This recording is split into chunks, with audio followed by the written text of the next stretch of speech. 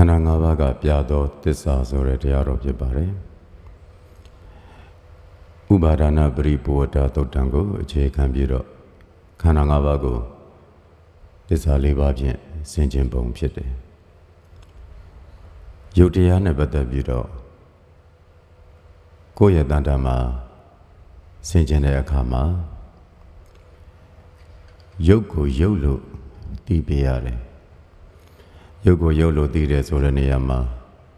ရူပံအပညာတိရူပသမုဒိယအပညာတိရူပនិရောဓံအပညာတိရူပនិရောဓဂာမိနိပရိပဒံအပညာတိလို့ယုတ်တရားနဲ့ပတ်သက်ပြီးယုတ်ကပြတဲ့သစ္စာတရားအဲ့တော့ယုတ်ဆိုလို့ရှိရင်ယုတ်လို့သိပေးနေရတယ်ဒီယုတ်ရဲ့ဖြစ်ကြောင်းတရားနဲ့ဖြစ်ခြင်းတရား ဒီယုတ်တရားရဲ့ချုပ်ကြောင်းတရားနဲ့ချုပ်ခြင်းတရားယုတ်တရားချုပ်စေဖို့ချုပ်ဖို့ရအတွက်ကျင့်ရမယ်အကျင့်တရားဆိုပြီးတော့ဒုက္ခသစ္စာသမုဒယသစ္စာនិရောဓသစ္စာမက္ခသစ္စာအပြင်ယုတ်ကသစ္စာ၄ပါးကိုပြအဲ့ဒီလိုမှသစ္စာ၄ပါးအပြင်မမြင်လို့ရှိရင်ယုတ်တရားကိုငါလို့ပဲစွဲတယ်ဧတံမမ ဧသောဟာမတမိဧသောမေအတ္ထာယုတ်ဒီငါဥစ္စာဖြစ်တယ်ယုတ်ဒီငါကိုယ်တိုင်ပဲဖြစ်တယ်ယုတ်ဒီငါရဲ့အတ္တကောင်အတ္တကောင်လို့အဲ့ဒီလိုမျိုးစွဲနေတတ်တယ်တစ္ဆာလေးပါမမြင်တဲ့အခါမောဟဖောင်းလွှမ်းနေတဲ့အတွက်ကြောင့်ယုတ်ကိုပုဂ္ဂိုလ်တ attva ရဲ့လို့စွဲနေတယ်ဒီတော့ယုတ်ကိုယုတ်လို့ကြာကြာနာနာသိဖို့ရအတွက် ရုပ်အမျိုးမျိုးလည်းရှိနေပြန်တယ်ဘုဒ္ဓရုပ်ဥပါဒရုပ်ဆိုပြီးတော့ရုပ်တရားကအမျိုးမျိုးရှိနေတာမှာကွဲပြားစွာသိဖို့လိုတယ်ဒီခန္ဓာမှာခတ်မှခြင်းသဘောတရားမာကြောတဲ့သဘောတရားဆိုတဲ့ထိလို့ရတဲ့အရာတွေရှိတယ်။စံပင်မွေညင်ခြေသက်လက်သေးသွားအရေးတူအရေးပါစသည်ဖြင့်ပထဝီဓာတ်တွေရှိတယ် ဒီပထဝီဓာတ်တွေကိုဒါဟာခတ်မှခြင်းသဘောရှိသောပထဝီဓာတ်ဖြစ်တဲ့ရုပ်ဖြစ်တယ်လို့အဲ့ဒီလိုသိပေးခြင်းဟာရုပ်ကိုယုံမှန်သိတာရုပ်ကိုယုံမှန်သိတာသည်ဒုက္ခသစ္စာကိုသိခြင်းကိစ္စဖြစ်တယ်ဒီပထဝီဓာတ်ဒီကိုယ်တွင်တန်ထမှာလဲခတ်မှခြင်းသဘောတရားတွေရှိရင် ပထဝီရုပ်လို့သိပြရသလို ကိုအပတန်တမှာလည်းခတ်မှခြင်းသဘောရှိသောအရာမှန်သမျှတို့သည် ပထဝီဓာတ်ဆိုပြီးတော့သာသိပေရတယ်။မဟုတ်ရင်တော့ပုဂ္ဂိုလ်တ attva တွေဆွဲပြီးတော့အစွဲတွေနဲ့အလွဲတွေလောက်ကြတော့မှပူလောင်မှုတွေငိုကြွေးမှုတွေဆိုတာဒီအစွဲတွေကြောင့်ဖြစ်တာ။ပုဂ္ဂိုလ်တ attva ဆွဲနေသမျှကာလပတ်လုံးမငြိမ်းချမ်းကြဘူး။ သူကဒီလိုလုပ်တယ်ငါကဒီလိုလုပ်တယ်ငါဒီလိုပြောတာကို သူကဒီလိုပြောတယ်ငါစေတနာကောင်းရတာနဲ့သူကစေတနာပြန်ပြီးတော့မကောင်းဘူးငါကောင်းတဲ့လောက်သူပြန်မကောင်းဘူးအဲ့ဒီပုဂ္ဂိုလ်ဆွဲတ attva ဆွဲရှိနေသမျှကာလပတ်လုံးလောင်ကျွမ်းနေကြတယ်သစ္စာလေးပါးကိုမမြင်သမျှကာလပတ်လုံးလောင်ကျွမ်းနေကြတယ်နေတိုင်းလောင်တယ် ညတိုင်းလောင်တယ်အိယာဝင်တဲ့အထိလောင်တယ်နိုးတော့လဲလောင်ကျွမ်းစွာနဲ့ထားတယ်အိယာနိုးလာတာနဲ့ငါပါလို့အောင်မယ်ငါပါစားအောင်မယ်ဘယ်လိုစားတော့ကိုစားလိုက်မယ်ဘယ်သူနဲ့တွေ့လိုက်မယ်ဒီအစွဲနဲ့ပဲပြန်ပြီးတော့နိုးလာကြတယ်ဒီလိုနဲ့သေတဲ့အထိပုဂ္ဂိုလ်တ attva အစွဲနဲ့ပဲသေသွားကြတာဝိစင်းရဲ့ပြက်ခြင်းလေ ဝေကျွေးတွေကုန်ကျင်တယ်စသည်ဖြင့်ပြောကြမယ်ဆိုလို့ရှိရင်ဒီခန္ဓာ၅ပါးကိုခန္ဓာ၅ပါးလို့မြင်ပြီးတော့တန်တရာရှည်စေသောအကြောင်းတွေမပြုမိပါမှသို့မဟုတ်အကြောင်းတွေဖြတ်နိုင်ပါမှအေးရမှာငြိမ်းရမှာအေးကျင်ကြတယ်ငြိမ်းကျင်ကြတယ်ဆိုရင်တော့အမှန်တိုင်းမြင်အောင်ကို မမြင်မြင်အောင်ကို ခွဲခြမ်းစိတ်ဖြာပြီးတော့ကြည်ရမှာ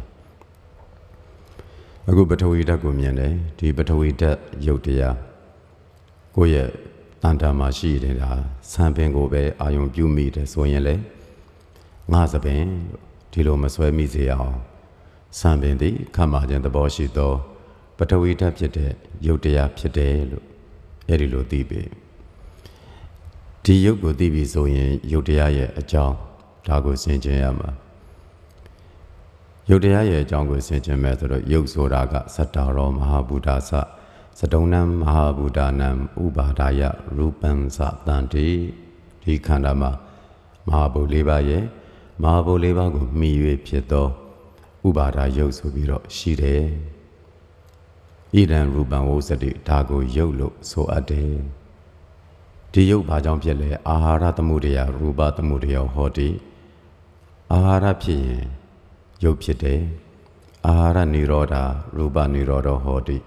အာဟာရချုပ်ရင်ရုပ်ချုပ်တယ်ဒီရုပ်ချုပ်ဖို့ရအတွက်ဘယ်လိုမျိုးလုပ်ရမလဲဆိုရင်တော့ရိယောအထင်ကြီးကောအယမေဝမတ်ကော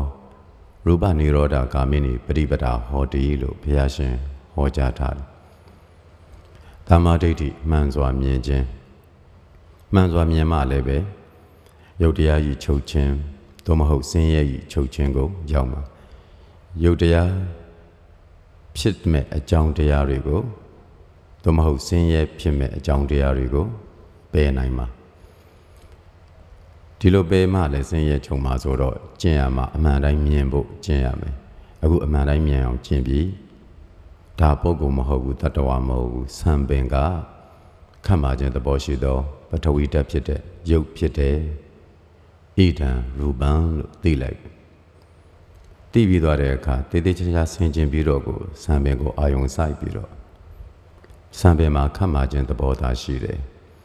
ဆံပင်ထဲမှာပုဂ္ဂိုလ်ရှားကြည့်တယ်မတွေ့ဘူးတတ္တဝါရှားကြည့်တယ်မတွေ့ဘူးသပင်ကခတ်မှခြင်းသဘောရှိသောပထဝီဓာတ်တတတာဖြစ်တယ် မောင်လှရှိသလားရှားကြည့်တယ်မမြရှိသလားရှားကြည့်တယ်သပင်ကသပင်တတပဲခတ်မှခြင်းသဘောရှိသောပထဝီဓာတ်တာဖြစ်တယ်အဲ့တော့ယုံမှန်းသိသွားတဲ့အခါဒီယုတ်ကဘာကြောင့်ဖြစ်တာလဲလို့ဆင်ခြင်ကြည့်တော့အာဟာရကြောင့်ဖြစ်တယ်စားတောင်းနေတဲ့အာဟာရကြောင့်သူ့ရဲ့အကြောင်းတရားကိုပြန်ကြည့်ရင်အတိတ်တုန်းကတော့အဝိဇ္ဇာတဏှာကံအတိတ်ကသစ္စာလေးပါးကိုမသိခဲ့တဲ့အတွက်ကြောင့် ခန္ဓာအသေးရလာပြီးတော့ပထဝီဓာတ်ကိုပါရအဲ့လိုရလာပြီးတော့အတိတ်တုန်းကလူကျင်မှုတွေကာမတဏှာဘဝတဏှာဝိဘဝတဏှာဆိုတဲ့ကာမဂုဏ်တရားတွေကို လိုချင်ခဲ့တဲ့တဏှာတရားကြောင့်ဘဝတွေကိုလိုချင်ခဲ့တဲ့တဏှာတရားကြောင့်ဘဝကင်းပြတ်ခြင်းကို လိုချင်တဲ့တဏှာတရားကြောင့်အဲ့ဒါတဏှာတရားပဲဒီတဏှာကြောင့်ကို ဆက်ပြီးတော့ဖြစ်နေဘဝကင်းပြတ်ခြင်းကိုလိုချင်တယ်ဆိုလို့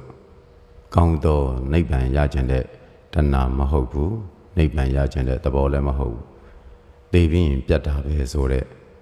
အစွဲမျိုးကိုပြောတာဒါကိုဝိဘဝတဏှာလို့ခေါ်တယ်ဒီလိုဆိုတော့သူကဥစ္စေတာဒိဋ္ဌိနဲ့တကွာဖြစ်တဲ့သိပြီးပြက်ပြီးဘာမှဖြစ်เสียမလို့ဘူးဆိုတဲ့အယူနဲ့တကွာဖြစ်သောတဏှာတရားသာဖြစ်တယ် ဒီလိုညစ်ကတ်တဲ့တဏှာတရားတွေကြောင့်အခုပရိသန်တွေအစ်စ်ကိုရလာလို့ခန္ဓာအစ်စ်ကိုရလာတဲ့အတွက်ကြောင့်မလို့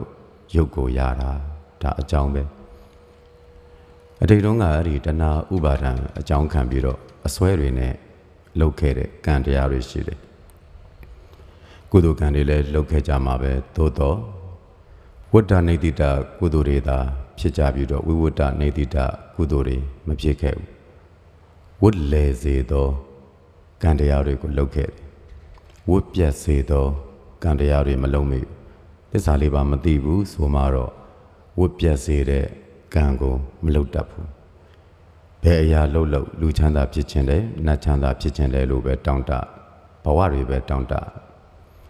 ကုသိုလ်ကောင်းမှုလုပ်ပြီးလို့ရှိရင်လိုချင်မှုနဲ့တွဲပြီးတော့လုပ်နေအဲ့တော့သူကဝိဝတ္တနေတိတ ဝတ်ပြတ်စေတယ်ဆိုတဲ့အကြောင်းမဟုတ်တော့ဝတ္တနေတိတဖြစ်ဝတ်ကိုရှည်စေသောကံတရားတွေလှုပ်လာတာဒီတော့ဝတ်ကိုရှည်စေတဲ့ကံတရားတွေကိုလှုပ်လာတဲ့အခါကျတော့ဝဆင်းရဲတွေထက်ရတယ်ဝခန္ဓာ၅ပါးတည်းယူသောဝိစင်ရဲ့ကိုရတော့ရုပ်ကိုလာရတဲ့အတွက်ကြောင့်အတိတ်ကအဝိဇ္ဇာတဏှာကံကြောင့်ရုပ်ဆိုတာဖြစ်တာလို့ ရုပ်ဖြစ်ကြောင်းကိုဆင်ခြင်ရတယ်နောက်ဒီယုတ်တရားပြစ္ဆုတ်ပံမှာစားတောင်းနေတဲ့အာဟာရကြောင့်ဖြစ်တဲ့ကြီးထွားတယ်ဒီအာဟာရကြောင့်ဖြစ်တာလို့အကြောင်းကိုသိတယ်ဒီယုတ်တရားရဲ့ချုပ်ခြင်းကိုဆင်ခြင်တဲ့ဆံပင်တိဟုသောကမ္မခြင်းသဘောရှိတဲ့ပထဝီတက်ယုတ်တရားသည်ဘယ်ချိန်ချုပ်တယ်လဲဆိုအဝိဇ္ဇာချုပ်ရင်ချုပ်မယ်တဏှာချုပ်ရင်ချုပ်မယ် ဒါကြောင့်အဝိဇ္ဇာတဏှာပယ်နိုင်အောင်မှန်စွာသိခြင်းဆိုတဲ့တမ္မာဒိဋ္ဌိနဲ့ရှုပေးရတယ်။သပင်ကပုဂ္ဂိုလ်လည်းမဟုတ်ဘူးတတ္တဝါလည်းမဟုတ်ဘူးငါဥစ္စာလည်းမဟုတ်ဘူးငါလည်းမဟုတ်ဘူးငါအတ္တလည်းမဟုတ်ခမ်းမာခြင်းသဘောရှိတဲ့ယုတ်တရားတတ္တတာဖြစ်တယ်လို့ဆင်ခြင်ပေးရတယ်။အဲ့ဒီတော့အစွဲတွေပြုတ်မတိခြင်းပဲဒိဋ္ဌိမရှိ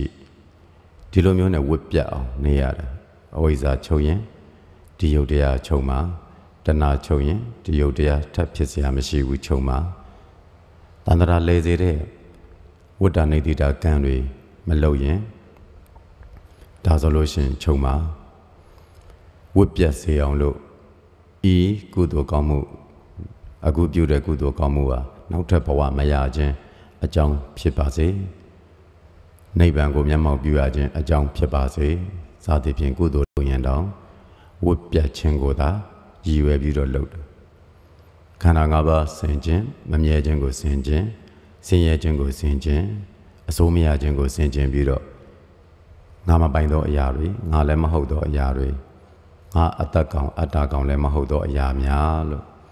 မှန်စွာမြင်သောတမ္မာဒိဋ္ဌိကိုပွားများသောအဖြစ်ဝိစင်ရဲ့ပြတ်မယ်ဒီယုတ်ကချုပ်မယ် အခုပြစ္ဆုတ်ပံမှာစားတောင်းနေတဲ့အာဟာရချုပ်ရင်လည်းယုတ်တရားချုပ်တယ်အဲ့တော့ယုတ်တရားဤချုပ်ခြင်းကိုသိတယ်လောလောဆယ်ထင်ရှားမရှိသေးသောယုတ်တရားကိုအာယုံယူသောအဖြစ်ယုတ်ကအာယုံမှာထင်ရှားလာပြီထင်ရှားတဲ့အာယုံဖြစ်လာပြီဆိုဒီအာယုံကိုသိသောအဖြစ်ယုတ်ဖြစ်ပြီလို့သိတယ် အဲ့ဒီယုတ်တရားကြီးဖြစ်သောယုတ်တရားကြီးကုံဆုံးခြင်းဟာယုတ်ချုပ်တယ်လို့သိတယ်အဲ့တော့ဆံပင်လို့ယုတ်တရားပဲချင်းဖြစ်လဲဆိုတော့ကံအကြောင်းတရားကြောင့်ဆံပင်ဆိုတာကဖြစ်လာပြီဆိုပေမဲ့အဲ့ဒီဆံပင်ကလောလောဆယ်ကိုအာယုံယူတော့မှဆံပင်ကိုမြင်တာအာယုံပြုတ်မှမြင်တာအဲ့တော့အာယုံပြုတ်တဲ့အချိန်မှာထင်သောရုပ်ကိုသာဆင်ခြင်၍ဒီအာယုံပြုတ်နေသောသဘောတရားအာယုံကိုမယူတော့ဘူး အာယုံကပျောက်သွားပြီဆိုလို့ရှင်ရုပ်တရားချုပ်သွားတာဒီလိုနဲ့ဆံပင်ဟာဖြစ်တတ်တယ်ချုပ်တတ်တယ်လို့မြင်တယ်ဖြစ်ပြီးရင်ပြတ်တတ်တယ်လို့မြင်တယ်နောက်ထပ်ဒီဆံပင်ထပ်ပြီးတော့မရစေရအောင်ဒီယုတ်တရားထပ်ပြီးတော့မရစေရအောင်မှန်စွာမြင်တဲ့တမ္မာဒိဋ္ဌိကိုပွားများရမယ်မှန်စွာတွေးကြံရမယ်ဆံပင်နဲ့ပတ်သက်လို့ကန့်ညိတဲ့အတွေးတွေ မရှိစေရဘဲနဲ့ဆံပင်ကနေပြီးငါဆွဲသူဆွဲတွေလွတ်မြောက်သွားဆံပင်နဲ့ပတ်သက်ပြီးဖြစ်နေတဲ့ငါဆွဲသူဆွဲများတက်မှတ်မှုများဒါတွေကနေပြီးတော့လွတ်မြောက်အောင်လို့တွေးတယ်ကြံတယ်ပွားများတယ်စင်ကြံတယ်ဒီတော့တမ္မာသင်္ကပ္ပကိုပွားများရတယ်တမ္မာတတိကောင်းကောင်းတတိထားတော့မှစံပင်ဆိုတာခမ်းမာခြင်းသဘောတရား ပထဝီဓာတ်ဖြစ်တဲ့ယုတ်တရားတသက်ဆိုတာကိုမြင်သွားမယ်တရားကိုတတိမကောင်းရင်မမြင်ဘူးတတိနဲ့အာယုံဆိုင်လိုက်မှမြင်တာတတိကောင်းတော့လည်းပဲရုပ်လို့မြင်တယ်ရုပ်ဤဖြစ်ကြောင်းကိုလည်းသိတယ်ရုပ်ဤချုပ်ကြောင်းကိုလည်းသိတယ်ဒီတတိနဲ့ပဲဆင်ခြင်ပြီးတော့ရုပ်ဟာဖြစ်ပြီးတော့ပြတ်သွားတယ်ဒီလိုမျိုးသိရတယ်ပြီးတော့ဝိရိယအပြင်လည်း စံပင်နဲ့ပတ်သက်ပြီးတော့အကုသိုလ်မဖြစ်စေနဲ့အဘိဇ္ဇာဒေါမနတမဖြစ်စေနဲ့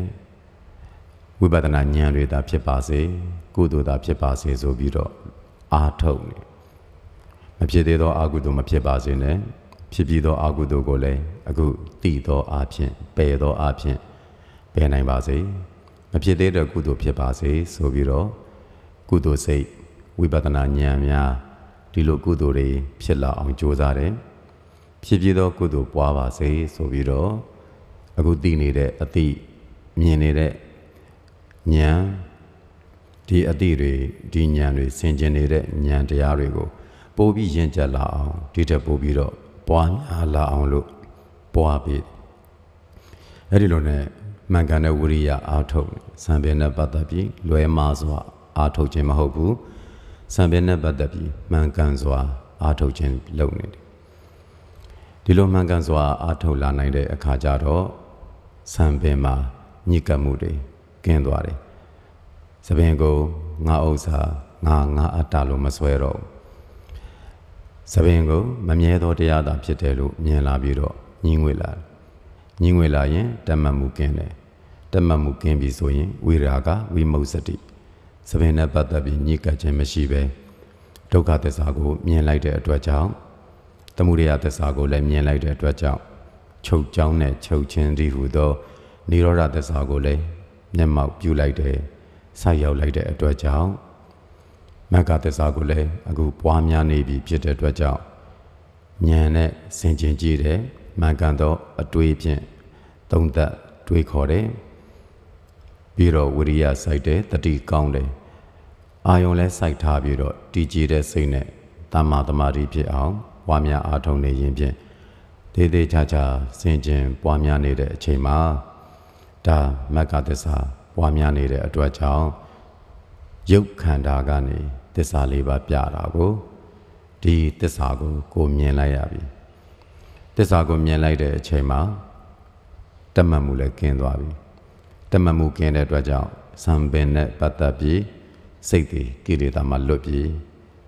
သပင်နဲ့ပတ်သက်ပြီးတော့တဏမာနဒိဋ္ဌိတို့မရှိတော့ဘူးသပင်ကငါသပင်ဒီသပင်ကိုကငါကိုယ်တိုင်ပဲဒီသပင်ဟာငါရဲ့အတ္တကောင်အတ္တကောင်ငါခန္ဓာကိုယ်ပဲလို့စသည်ဖြင့်မစွဲတော့အစွဲတွေပြုတ်တယ်အစွဲတွေပြုတ်ပြီးတော့မြဲမှမမြဲတဲ့တရားငါသပင်လေးဟဲ့လို့တာမနေတော့ ငါသပင်လေးဟဲ့ဆိုตาရမနေတော့အဲ့လိုမตาရတော့တဲ့အတွက်ကြောင့်သပင်နဲ့ပတ်သက်လို့ကိလေသာမဖြစ်တော့ပဲကိလေသာကနေလွတ်မြောက်တယ်တစ္ဆာလေးပါးကိုမြင်လိုက်တယ်သပင်တစ်ခုတည်းမှာပဲဆင်ခြင်ပြီးတော့ပထဝီဓာတ်ကိုဆင်ခြင်ပြီးတစ္ဆာလေးပါးကိုမြင်တဲ့အတွက်အဲ့ဒီသပင်ကနေပြီးကိလေသာမဖြစ်ဘဲနဲ့လွတ်မြောက်တော့တယ်သပင်မှာကန့်ညစ်ခြင်းမဖြစ်တော့ဒါဟာ ခန္ဓာကပြတဲ့သစ္စာတရားကိုမြင်တဲ့အတွက်လွတ်မြောက်ရခြင်းအေးချမ်းရခြင်းပဲမွေးညင်းကိုကြည့်ပြန်မွေးညင်းကလည်းဒါပထဝီဓာတ်ရုပ်တရားပဲအဲ့တော့ဒီမွေးညင်းတက်ကလည်းဒါငါဥစ္စာမဟုတ်ဘူးငါမဟုတ်ဘူးငါအတ္တမဟုတ်ဘူးမွေးညင်းဟာခတ်မာတဲ့ပထဝီဓာတ်ရုပ်တရားတတ္တတာဖြစ်တယ်ဒီမွေးညင်းဖြစ်စေတဲ့အကြောင်းတရားကအဝိဇ္ဇာတဏှာကံနဲ့တကွာအာဟာရပဲ အခုထင်ရှားဖြစ်ခြင်းအာယုံပြုတ်လို့မို့အာယုံမှာထင်လာခြင်းကထင်ရှားဖြစ်တာဒီလိုနဲ့ရုပ်တရားတွေဟူသောမွေးညင်းတွေဟူသောပထဝီဓာတ်ဆိုတဲ့ရုပ်တရားရဲ့ဖြစ်ကြောင်းနဲ့ဖြစ်ခြင်းကိုမြင်တယ်ဒီတရားချုပ်မှာဘယ်အချိန်ချုပ်မလဲအဝိဇ္ဇာချုပ်ရင်ချုပ်မယ်မတိမှုချုပ်သွားရင်ချုပ်မယ်မတိမှုချုပ်သွားရင်မွေးညင်းနဲ့ပတ်သက်လို့တမတ်မှုတွေချုပ်မယ်အယူအလွဲတွေချုပ်မယ် အဲ့တော့သိအောင်ကြိုးစားတယ်သိအောင်ကြိုးစားပြီးတော့အဝိဇ္ဇာကိုပယ်လိုက်နိုင်လို့ရှိရင်ဒီယုတ်ကချုပ်မယ်ဒီသဘင်နဲ့ပတ်သက်ပြီးငါဥစ္စာလို့ဆွဲလန်းနေမဲ့တဏှာကိုပယ်နိုင်မယ်အခုသဘင်ကအမှန်တကယ်တော့ငါဥစ္စာလည်းမဟုတ်ဘူးအကြောင်းကြောင့်ဖြစ်သောအကျိုးတရားဖြစ်တဲ့ပထဝီဓာတ်ဖြစ်တဲ့ယုတ်တရားသာဖြစ်တယ်ရည်ရည်ယုတ်တရားကဖြစ်ပြီးရင်ပြတ်တဲ့သဘောဖြစ်တယ် ဒီလိုဆင်ခြင်နေတဲ့အတွက်ကြောင့်သူနဲ့ပတ်သက်လို့တတ်မှတ်မှုတဏမရှိဘူးဒါဆိုရင်ဒီယုတ်ကချုပ်မယ်ဖြစ်เสียအကြောင်းမရှိဘူးကံအကြောင်းတရားလည်းသဘင်နဲ့ပတ်သက်ပြီးတော့တန်တရာရှိစေမဲ့ကံတွေမလုပ်ဘူးဝတ္တနေတိတာကံတွေမလုပ်တော့ဘူးသဘင်နဲ့ပတ်သက်ပြီးတရားဆင်ခြင်နေတဲ့အတွက်ကြောင့်ခတ်မာသောသဘောတရားဖြစ်တဲ့ပထဝီဓာတ်ယုတ်တရားတတ္တတာဖြစ်တယ်လို့ဆင်ခြင်နေတဲ့အတွက်ကြောင့်သူဟာမှန်သောအလုတ်ကိုလုပ်နေတယ် မှန်သောအလုတ်ကိုလုပ်နေတာဖြစ်တဲ့အတွက်ကြောင့်တမ္မာကမ္မန္တဖြစ်နေတဲ့အတွက်တန်တရာရှည်စေတဲ့ကံမဟုတ်တော့ဒီတော့ဝတ္တနေတိတမဖြစ်ဘူးတန်တရာရှည်စေတဲ့ကံမဖြစ်လို့ရှိရင်ဒီကံတရားမဖြစ်ဘူးဆိုရင်ယုတ်တရားချုပ်ပြီးဒီလိုနဲ့လောလောဆယ်အဝိဇ္ဇာတဏကံချုပ်တဲ့အခါရုပ်ချုပ်မယ်လို့သိတယ်အာဟာရချုပ်ရင်လည်းဒီရုပ်ကချုပ်မယ်လို့သိတယ်ထင်ရှားဖြစ်ပေါ်နေသော အာယုံထင်နေတဲ့အဲ့တော့စိတ်ထဲမှာထင်လာတဲ့ဒီအာယုံတရားမွေးညင်းဆိုတဲ့အာယုံတရားချုပ်သွားရင်ဒါရုပ်ကြီးချုပ်ခြင်းပဲဒီတော့မွေးညင်းတည်းဟူသောပထဝီဓာတ်ဤဖြစ်ကြောင်းနဲ့တကွာဖြစ်ခြင်းချုပ်ကြောင်းနဲ့တကွာချုပ်ခြင်းကိုမြင်လိုက်ပြီဒီတော့မွေးညင်းတည်းဟူသောပထဝီဓာတ်ဖြစ်တဲ့ယုတ်ဆိုပြီးဒုက္ခသစ္စာကိုသိလိုက်တယ်သိပေးလိုက်တယ်သိပေးလိုက်တဲ့အတွက် သူနဲ့ပတ်သက်ပြီးတော့ကန့်ညင်ခြင်းတွေအစာရှိတဲ့အကြောင်းတရားတွေကိုလည်းပယ်လိုက်ပြီးသားဖြစ်တယ်ပယ်လိုက်တဲ့အတွက်ကြောင့်ဒီလိုသိပေးလိုက်ဆင်ခြင်ပေးလိုက်တဲ့အချိန်မှာတဏှာအစာရှိတဲ့ကိလေသာမဖြစ်တဲ့အတွက်ကြောင့်ကိလေသာအဲ့ဒီအခိုင်မှာချုပ်တယ်ပြီးတော့ဒီလိုချုပ်စေဖို့အတွက်အမှန်စွာမြင်ခြင်းဆိုတဲ့တမ္မာဒိဋ္ဌိစတဲ့မက်ကင်တွေနဲ့ဆင်ခြင်တယ်ပွားများတယ်တွေးကြံတယ်တတိထားတယ်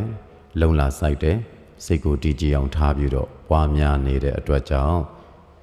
မွေးညင်းမှာသစ္စာလေးပါးတွေ့လိုက်တယ်မွေးညင်းကပြတဲ့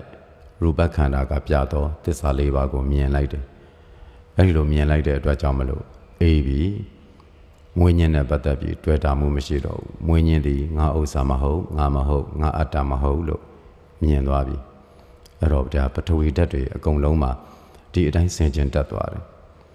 ဒီတော့ညင်းငွေသွားမယ်ညင်းငွေရင်တမတ်မှုကင်းမယ်တမတ်မှုကင်းတဲ့အတွက်ကြောင့်မလို့လွတ်မြောက်တယ်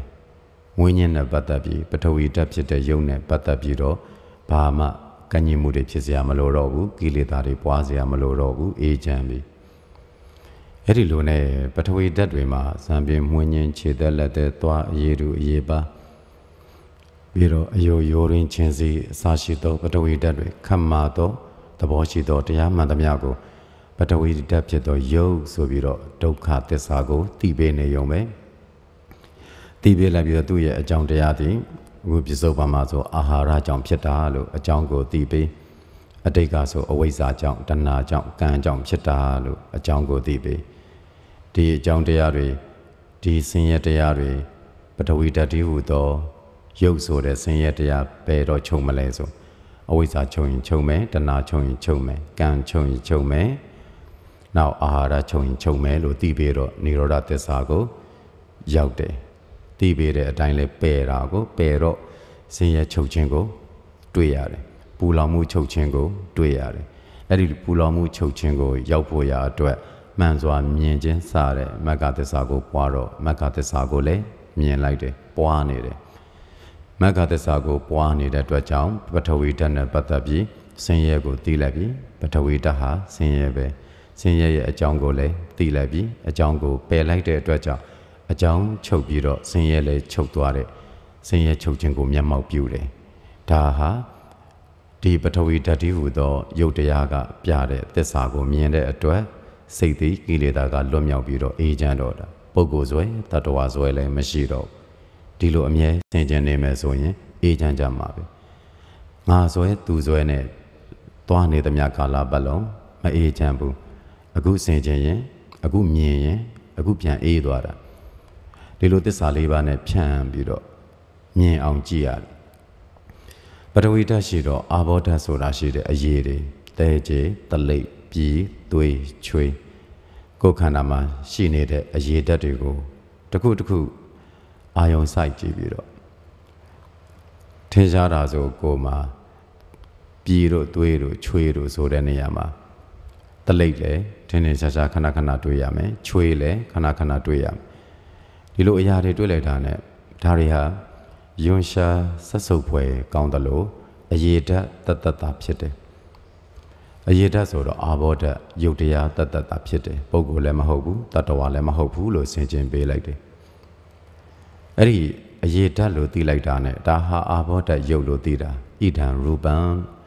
ဣတိရူပံစသဖြင့်ဒါယုတ်ပဲလို့သိပေးလိုက်တော့ဒုက္ခသစ္စာကိုသိမဟုတ်ရင်ပုဂ္ဂိုလ်ဆွဲတတ္တဝါဆွဲနဲ့ထင်းနေတာခန္ဓာကိုဒီယုတ်တရားကိုအစိတ်စိတ်အမွားမွားခွဲပြီးတော့မမြင်တော့အဆိုင်အခဲအတုံအခဲနဲ့ခဏပညာကြီးနဲ့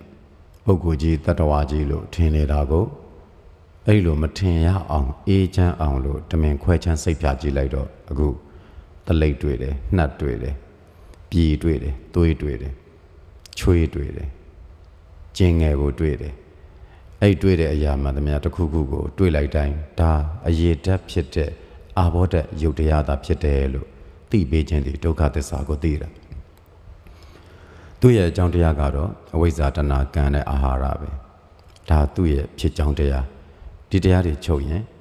ဒီအခုအာဘောဓယုတ်တရားကလည်းချုပ်ပြီချုပ်စေဖို့အတွက်ဘာကျင့်မလဲမှန်စွာမြင်ပေးရမယ်မှန်စွာဆင်ခြင်ပေးရမယ်တမာဒိဋ္ဌိဖြင့်ဒါပုဂ္ဂိုလ်လည်းမဟုတ်တတ္တဝါလည်းမဟုတ်အရေးတတ်ဖြစ်တဲ့ယုတ်တတ္တတာဖြစ်တယ်လို့ဆင်ခြင်ပေးရမယ်အဲ့ဒီလိုဆင်ခြင်ပေးလိုက်တဲ့အတွက်ကြောင့်မလို့ငါဆွဲသူဆွဲပြုတ်သွားမယ်တဏှာကိုပယ်နိုင်မယ်ပယ်လိုက်နိုင်တော့ဆင်းရဲဖြစ်เสียအကြောင်းမရှိတော့ဒီနေရာမှာအကြောင်းပြတ်တယ် ဆွဲလန်းမှုမရှိတော့တေးသေးချာချာဆင်ခြင်လေငါမဟုတ်မှန်းသူမဟုတ်မှန်းထင်ရှားလေဒီအာဘောဓဟာငါဥစ္စာလည်းမဟုတ်ဘူးငါလည်းမဟုတ်ဘူးငါအတ္တလည်းမဟုတ်ဘူးလို့အမှန်တိုင်းမြင်လာလေအကြောင်းဖြစ်တဲ့တရားတွေမလုပ်တော့ဘူးအမှန်တိုင်းမြင်ပြီဆိုတော့အဝိဇ္ဇာမရှိတော့ဘူးမောဟမရှိတော့ဘူးဉာဏ်ဖြစ်သွားပြီဒါယုတ်တရားလို့သိလိုက်တဲ့အခါကျတော့ဉာဏ်ပေါ်လာတယ်ဉာဏ်ပေါ်တော့အဝိဇ္ဇာကိုပယ်ပြီးသားဖြစ်တယ် ရုပ်သားဖြစ်တဲ့ပုဂ္ဂိုလ်မဟုတ်ဘူးတတ္တဝါမဟုတ်ဘူးဒါဟာပထဝီဓာတ်ဖြစ်တဲ့ရုပ်တတ္တတာဖြစ်တယ်ခဏဖြစ်ပြီးခဏပြတ်တယ်မမြဲသောတရားသာဖြစ်တယ်လို့ဆင်ခြင်တာနဲ့တပြိုင်နက်တဏှာလည်းမဖြစ်ဘူးတဏှာပယ်ပြီးသားဖြစ်တယ်ဒီလိုသိပေးလိုက်တာနဲ့တဏှာကသိတာနဲ့ပယ်ပြီးပြီအဲ့တော့ကံတရားကလည်းသူနဲ့ပတ်သက်လို့ကံဆိုတော့အခုလောလောဆယ်ဝိပဿနာဉာဏ်သာပွားနေတာဖြစ်တော့မမြဲဘူးဆင်းရဲတယ်အစိုးမရ ဒီအရေးဟာပုံကိုယ်လည်းမဟုတ်ဘူးတတ္တဝါလည်းမဟုတ်ဘူးမမြဲဆင်းရဲအစိုးမရသောအရာသာဖြစ်တယ်လို့ဉာဏ်အလုတ်ပဲလုံနေတော့တန္တရာရှေးစေးမဲ့ကံပယ်ပြီးသားဖြစ်တယ်ဒီတော့အကြောင်းပြတ်နေပြီအကြောင်းပြတ်တဲ့အလုပ်ကိုလုပ်ထားတဲ့ခါကျတော့ဆင်းရဲမရစေတော့လောလောဆယ်အာဟာရနဲ့ပတ်သက်လို့လဲအာဟာရတကယ်လို့ချုပ်သွားပြီဆိုရင်ဒီယုတ်ကချုပ်မှာလို့သိတယ် ဖြစ်ပေါ်ထင်ရှားနေသောအရေးတက်ဤကုံဆုံးသွားခြင်းကလည်းပဲဒါယုတ်ဤချုပ်ခြင်းပဲလို့မြင်လိုက်တော့ယုတ်ချုပ်ခြင်းကိုမြင်တယ်ပြတ်ခြင်းကိုမြင်တယ်ဒီတော့အကြောင်းတရားတွေချုပ်ရင်ဒီယုတ်ကချုပ်ရတာပါလားလို့និရောဓသစ္စာကိုသိတယ်အဲ့ဒီလိုချုပ်စေဖို့အတွက်အကြောင်းတွေပယ်တတ်နိုင်ဖို့အတွက်မှန်စွာမြင်ခြင်းစတဲ့တမ္မာဒိဋ္ဌိတမ္မာသင်္ကပ္ပစသောမဂ္ဂင်တရားတွေနဲ့ပွားပြီးတော့တတိကောင်းတယ်ဝိရိယကောင်းတယ်တမာတိရှိတယ် ဒီလိုစင်ကြင်ပွားများပြီးတော့သိစရာကိုသိပြီးပြီပယ်စရာကိုပယ်ပြီးပြီရောက်စရာအေးငိမ့်မှုကိုလည်းရောက်ပြီးပြီဆိုရင်အရေးတတ်သည်ဟူသောယုတ်တရားနဲ့ပတ်သက်ပြီးတော့သူသည်အကြောင်းတွေပယ်၍အေးချမ်းသွားပြီဒီအရေးတတ်သည်ဟူသော အာဘောဓယုတ်တရားကပြသောတစ္ဆာလေးပါးကိုမြင်သွားပြီဒီလိုသစ္စာလေးပါးမြင်သွားတဲ့အတွက်ပုဂ္ဂိုလ်ဆိုရင်တတ္တဝါဆိုရင်မရှိတော့ဘူး အရေးဟာအရေးတတ္တတာဖြစ်တယ်အာဘောဓဖြစ်တဲ့ယုတ်တရားတာဖြစ်တယ်ငါဥစ္စာလည်းမဟုတ်ဘူးငါလည်းမဟုတ်ဘူးငါအတ္တလည်းမဟုတ်ဘူးမမြဲသောတရားတာဖြစ်တယ်ဖြစ်ပြီးရင်ပြတ်နေတဲ့အတွက်ကြောင့်ဆင်းရဲသောတရားတာဖြစ်တယ်အကြောင်းရှိလို့ဖြစ်ရသောအကျိုးတရားတာဖြစ်တဲ့အတွက်အကြောင်းချုပ်ရင်ချုပ်သွားတော့ငါဥစ္စာလည်းမဟုတ်ဘူးငါလည်းမဟုတ်ငါအတ္တကောင်အတ္တကောင်လည်းမဟုတ်ဘူးလို့မြင်လိုက်တဲ့အခါ ဒီအရေးတက်နဲ့ပတ်သက်ပြီးငါဆွဲသူဆွဲပြုတ်၍ညှိကပ်ခြင်းမရှိတော့တဲ့အခါညင်းငွေလာမယ်လိုချင်စိတ်မရှိတော့ဘူးညင်းငွေလာညင်းငွေတော့တတ်မှတ်မှုမရှိတော့ဘူးတတ်မှတ်မှုမရှိတော့စိတ်ကအရေးတက်နဲ့ပတ်သက်ပြီးလွတ်လွတ်ကျွတ်ကျွတ်ကိလေသာကနေလွတ်တော့တယ်လောဘလည်းမဖြစ်တော့ဘူးဒေါသလည်းမဖြစ်တော့ဘူးမောဟလည်းမဖြစ်တော့ဘူးအရေးတက်ကိုအရေးတက်လို့ကြာကြာနာနာမြင်တဲ့အတွက်ကြောင့်သူ့ကြောင့်မာနလည်းမဖြစ်တော့သူ့ကိုလည်းအရေးတက် အာဘောဓကိုလည်းလွယ်မာသောအမြင်တွေနဲ့မမြင်တော့ဒါအာဘောဓဖြစ်တဲ့ယုတ်တရားတတ္တတာဖြစ်တယ်လို့ကြာကြာနာနာသိဒီတော့အာဘောဓကပြသောသစ္စာ၄ပါးကိုမြင်လိုက်တဲ့အချိန်မှာတတ်မှတ်မှုကင်းပြီးတော့စိတ်တည်ကိလေသာကလွတ်၍အေးချမ်းတယ်ဒီတော့တေဇောဓာတ်ဆိုတာရှိနေပြန်တယ်အပူအေးဓာတ်အစာတွေကိုကြေချက်နေတဲ့ဒါအပူဓာတ်တွေ ပြီးလို့ရှင်ရင့်ရော်စေတဲ့အပူဓာတ်တွေခန္ဓာကိုယ်မှာစံသက်မိလို့သိရတော့အနှွေးဓာတ်အေးဓာတ်ဆိုတဲ့အရာတွေကိုဆင်ခြင်မိပြန်တော့လေဒါယုတ်ယုတ်လို့သိလိုက်ရင်ဒုက္ခသစ္စာကိုသိပြီပုဂ္ဂိုလ်လည်းမဟုတ်တတ္တဝါလည်းမဟုတ်အစကတော့ပုဂ္ဂိုလ်တ attva လို့ထင်နေတာအမှန်တော့အပူအေးဆိုတဲ့အငွေ့ဓာတ်အပူဓာတ်တေဇောဓာတ်တာရှိတယ်ဒီတေဇောဓာတ်ဆိုတာယုတ်တရားပဲလို့သိတာဒုက္ခသစ္စာကိုသိသွား အကြောင်းတရားကိုလည်းသိတယ်အဝိဇ္ဇာတဏကံအာဟာရတို့ဟာအကြောင်းတရားပဲဒီအကြောင်းတရားဖြစ်ရင်ယုတ်ဖြစ်တယ်ဒေဇောဓာတ်ဖြစ်တယ်ဒီအကြောင်းတရားတွေမရှိတော့ရင်ဒီဒေဇောဓာတ်ချုပ်လိမ့်မယ်လောလောဆယ်ထင်ရှားဖြစ်နေတော့အပူဓာတ်ကဒါဖြစ်တာပဲအဲ့ဒီအပူဓာတ်ကုံဆုံးခြင်းဟာထင်ရှားဖြစ်တဲ့ရုပ်ရဲ့ချုပ်ခြင်းပဲဆိုပြီးတော့ဖြစ်ကြောင်းနဲ့ဖြစ်ခြင်းကိုလည်းသိလိုက်တယ်သမှုတရားသစ္စာကိုသိလိုက်တယ်ချုပ်ကြောင်းနဲ့ချုပ်ခြင်းကိုလည်းမြင်လိုက်တယ် និရောဓသစ္စာကိုသိလိုက်တယ်ဒီစင်ရတရားတေဇောတတရားကုံဆုံးသွားစေဖို့ခြုံငိမ့်သွားစေဖို့ဘာကျင့်မလဲဒီစင်ရချုပ်ဖို့ဆိုရင်အမှန်တိုင်းမြင်မှဖြစ်မယ်ဒါဆိုတေဇောဓာတ်နဲ့ပတ်သက်ပြီးငါဆွဲသူဆွဲဆိုတာမရှိတော့ဘူးဒီခန္ဓာကိုယ်ကြီးမှာတေဇောဓာတ်ပဲရှိတယ်ဆိုထင်ရှားသွားတယ်အမှန်တိုင်းမြင်တဲ့အတွက်ကြောင့်မောဟကိုပယ်လိုက်ပြီးအဝိဇ္ဇာပယ်လိုက်ပြီးအကြောင်းပြတ်တယ်အမှန်တိုင်းမြင်တဲ့အတွက်ကြောင့်မလို့ ဒုက္ခကိုဒုက္ခလို့မြင်လိုက်ပြီးဆိုလို့ရှိရင်မလို့ခြင်းတော့ဘူးတဏှာပယ်ပြီးသွားပြီဒါဟာဒုက္ခပဲလို့ထင်နေရှားရှားသိပြီးလူလည်းမတွေ့နတ်လည်းမတွေ့ပုဂ္ဂိုလ်လည်းမတွေ့တတ္တဝါလည်းမတွေ့ပဲနဲ့အပူဓာတ်သဘောလေးသာဖြစ်သည်လို့မြင်လိုက်တဲ့အတွက်ကြောင့်သူနဲ့ပတ်သက်ပြီးတော့ကိုမှဝစ်ရှည်စေသောကံတရားတွေမလုပ်တော့အခုလုပ်နေတာကညံအလုပ်ကိုလုပ်နေတာဆိုတော့ဝစ်ပြက်စေတဲ့အလုပ်ကိုလုပ်နေတာ အဲ့တော့အကြောင်းပြက်ပြီအကြောင်းပြက်ရင်အကျိုးကလည်းချုပ်ပါပြီဒီလိုနဲ့ဒီလိုဆင်ကျင်ပေးသောအာဖြင့်ကိုသူကအကြောင်းတွေကိုဖြတ်ရုပ်တရားကပြတဲ့သစ္စာလေးပါးကိုမြင်ပြီးတော့အကြောင်းတွေကိုဖြတ်မှန်စွာလဲပွားများနေတယ်မှန်စွာမြင်ခြင်းမှန်စွာကြံစာခြင်းမှန်စွာအောက်မေ့ခြင်းမှန်စွာအားထုတ်ခြင်းမှန်စွာတည်ကြည်ခြင်းဆိုတဲ့သဘောတရားတွေနဲ့အမှန်တိုင်းမြင်အောင်ကြည့်အခုမြင်ပြီးမြင်တဲ့အခါကျတော့ တေဇောတဟာပုဂ္ဂိုလ်လည်းမဟုတ်ဘူးတတ္တဝါလည်းမဟုတ်ဘူးယုတ်တတ္တဖြစ်တယ်ငါဥစ္စာလည်းမဟုတ်ဘူးငါလည်းမဟုတ်ဘူးငါအတ္တလည်းမဟုတ်ဘူးလို့မြင်သွားပြီးတော့ဒီတေဇောဓာတ်နဲ့ပတ်သက်ပြီးညင်းငွေလာတယ်ညင်းငွေပြီးတော့တမတ်မှုကင်းလာတယ်လိုချင်စိတ်တွေမရှိတော့ဘူးတမတ်မှုကင်းပြီးဆိုတာနဲ့တပြိုင်နက်အစွဲတွေလည်းပြုတ်ပြီးတော့တေဇောဓာတ်နဲ့ပတ်သက်ပြီးမလောင်တော့ဘဲနဲ့ငြိမ်းချမ်းတယ်ကိလေသာကနေလွတ်မြောက်စွာနေနိုင်သွားပြီအဲ့တော့ဝါယောဓာတ်ဆိုပြီးကြာပြန်တော့ ဒီခန္ဓာမှာအပေါ်ကိုဆန်တက်တဲ့လေအောက်ကိုဆုံစင်းတဲ့လေဝမ်းတွင်မှာတည်တဲ့လေအင်္ဂါကြီးငယ်တို့ကိုရှောင်နေတဲ့လေဥအတွင်းမှာရှိတဲ့လေနောက်အင်္ဂါကြီးငယ်တို့ကိုသွားနေတဲ့လေထွက်သက်ဝင်သက်လေဆိုပြီးတော့လေဓာတ်တွေရှိတယ်ဒီလေကိုဝင်သက်ထွက်သက်ရှူသွင်းရှူထုတ်လုပ်ရင်းနဲ့လေကိုခံစားသိနေသိတဲ့အခါမှာ၎င်းအထက်ကိုစံတက်တဲ့လေအောက်ကိုဆုံစင်းသောလေတို့ကို ခံစားသိနေသိတဲ့အခါမှာတော့၎င်းဒါပုဂ္ဂိုလ်မဟုတ်ဘူးတတ္တဝါမဟုတ်ဘူးဝါယောတတ်ဖြစ်တော့ယုတ်တတတဖြစ်တယ်လို့ထင်ရှားသိလိုက်တယ်ဒုက္ခသစ္စာကိုသိလိုက်သိအောင်လဲတည်တည်ကြကြတတိထားပြီးကြည်လိုက်တယ်လုံလာလေးစိုက်ပြီးတော့ကြည်လိုက်တယ်ဒီမှာအမှန်တိုင်းမြင်သွားပြီတာမာဒိဋ္ဌိကိုရပြီဝါယောတဟာတွန်းထိုးခြင်းလှုပ်ရှားခြင်းသဘောရှိတဲ့ထောက်ကန်ခြင်းသဘောရှိတဲ့ ဝါယောတရုပ်တရားတတ္တဖြစ်တယ်လို့မြင်သွားပြီဒုက္ခသစ္စာကိုမြင်သွားပြီပုဂ္ဂိုလ်လည်းမဟုတ်ဘူးတတ္တဝါလည်းမဟုတ်ဘူးဆိုတာသိသွားပြီအဲ့တော့လေကိုလေလို့သာမြင်လိုက်ပြီမြင်လိုက်ပြီသူ့အကြောင်းတရားကိုကြည့်လိုက်တော့လေအဝိဇ္ဇာတဏှာကံတရားကြောင့်ဒီခန္ဓာရပြီးတော့ဝါယောဓာတ်ကိုပါရတာသူ့အကြောင်းတရားကိုသိတယ်အာဟာရကြောင့်လေအခုဒီဆက်ပြီးတော့အသက်ရှူသွင်းနေတဲ့ခန္ဓာကိုယ်ကြီးမှာလေတွေလဲပတ်နေသေးတာ အစာတောင်မစားတော့ရင်မလဲပတ်တော့ဘူးသေရမှာဒါကြောင့်အာဟာရကြောင့်ဖြစ်နေတယ်အာဟာရချုပ်ရင်ချုပ်မယ်လို့သိတယ်